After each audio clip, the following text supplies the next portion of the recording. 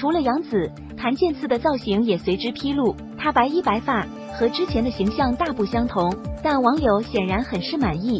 不难看出，无论是女主本身的造型，还是受了男主衬托，杨紫都免不了被吐槽。再看之前沉香如屑》里的造型，软纱薄面贴合肌肤，显得手臂纤细，腰肢更简单竖起。婀娜轻盈，沉香如屑中的颜淡和长相思里的小妖风格全然不同，造型自然也不能一概而论。